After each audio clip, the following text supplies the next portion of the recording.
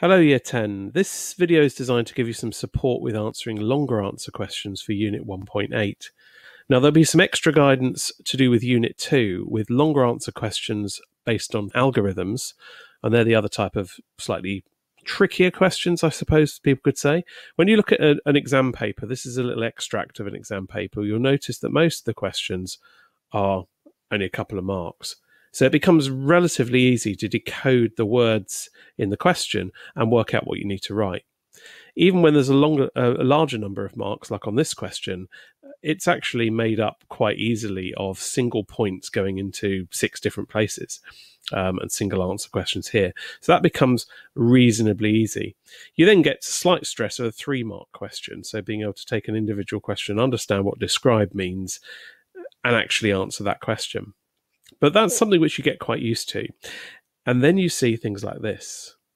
Okay, so single question, and then loads of lines, and then eight marks at the bottom. So the question is how do you break down how to answer a question like that? Now we've given you a little bit of guidance in the uh, information for your for your uh, task. So you've got a little question here to try and answer in the same way. Okay, it's eight mark questions, similar similar way. And what we're looking at is the idea of how to break down the question into different aspects so you can answer that. Now, some of the questions actually give you some guidance. In fact, our little example question here um, that we've given you to look at gives you some structure. So it gives you some things to talk about. So that immediately breaks the number of marks down. Okay, so let's have a look at this question. The first thing to do is to is to do a bit of highlighting really of the of the question and just make sure that we're aware of the key points. Master Movie Rentals, MMR, have several stores within the UK and would like to set up an online digital movie streaming service in other countries and around the world. So the the, the scenario is we've got a, a company that wants to branch out and basically do some online streaming. Discuss some of the legal and cultural issues they may face when offering this service in countries such as, but not limited to, China, the UAE, United Arab Emirates, and India. Now, this question is an interesting one because it actually is being fairly specific about particular countries. And one thing that sometimes concerns students with these kind of questions is is it possible that you might not have the sort of cultural knowledge yourself to be able to answer the question? I have to say, I think in, in, a real OCR exam, they would probably steer themselves away from being this specific. But for this example, it's perfectly okay. And I think most of us know what goes on in terms of um, web blocking and stuff in China.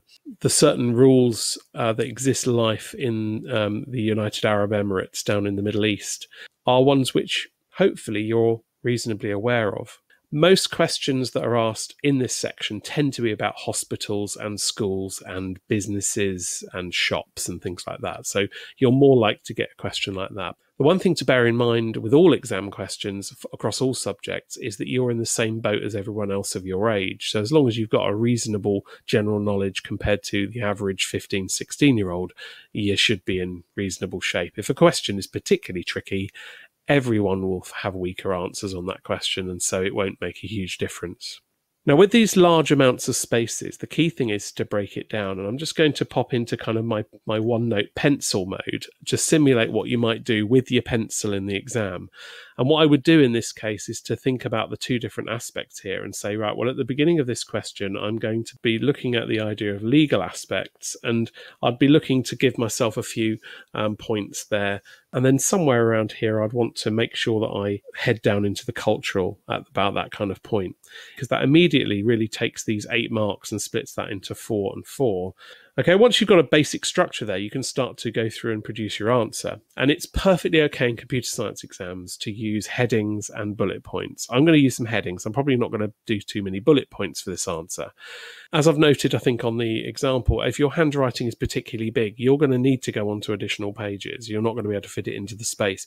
If you have tiny handwriting, all right, try and make your handwriting a bit bigger for exams. But you know, don't assume that everybody has got to fill up the same amount of space. That's not true. Okay, so let's have a little go here. So, legal aspects. Most countries have legal controls over content in movies that's offensive due to sexual, violent, or other issues. Some countries have more strict laws on violent and sexual content, such as India and UAE, and China has specific controls on content that criticizes the authorities. Now, notice in this aspect, we've looked at the fact that there are legal controls in all countries and then gone more specific. So it's very important when you're writing um, any argument to try and head in a particular direction to tell a story. And in this case, we're basically talking about the norm in the world, which obviously this company is going to be dealing with, compared to the specifics in the individual countries, which is obviously potentially going to cause them a problem. So, cultural issues. Countries such as UAE have very strict cultural norms in their society especially related to the depiction of other religious beliefs and things like the consumption of alcohol. This is enforced with content blocking. Other countries, such as China, have blocked content from being officially accessed within the country, although there are ways around this, such as some social media and media streaming platforms that are not government approved or checked. The view of life in different cultures is considered a danger of diluting their own culture. Now, with this particular answer, you'll see that there's a mismatch between the legal and cultural issues.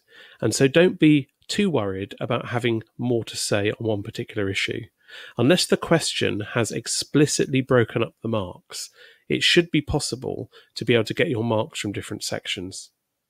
In this particular example, there will be likely to be a kind of considered to be three points here the issue of the norm in other countries, and then looking at the two different aspects of different types of controls. In the cultural issues here, we're talking about the context, right, the very strict cultural norms in their society in the UAE, and then how that's enforced. And so there's enough points in these um, statements here to be able to justify um, three marks and five marks for those two sections. However, it is important to be aware that the mark scheme does require quality of written communication.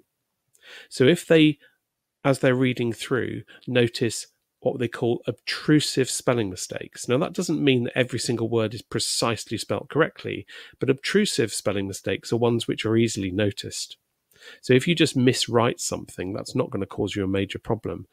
But it's important to be conversational. It's important to write your sentences in as good English as you can. The most important thing for computer science structured questions is this idea of a very clear structure. All right, making sure that you can see it's not just a block of text. There are some underlined words to give some structure. So the task this week then is to come up with a really good answer to this question. And what I'd like you to do is to try and include as much prep as you possibly can. So if you've done some investigation, if you've written some notes, paste those at the end. This can be typed, or you can handwrite it on lined paper and then t- use your phone to take a, a good high quality scan. Recommend the Office Lens app for that because it will give you a better better quality copy. And paste that into OneNote.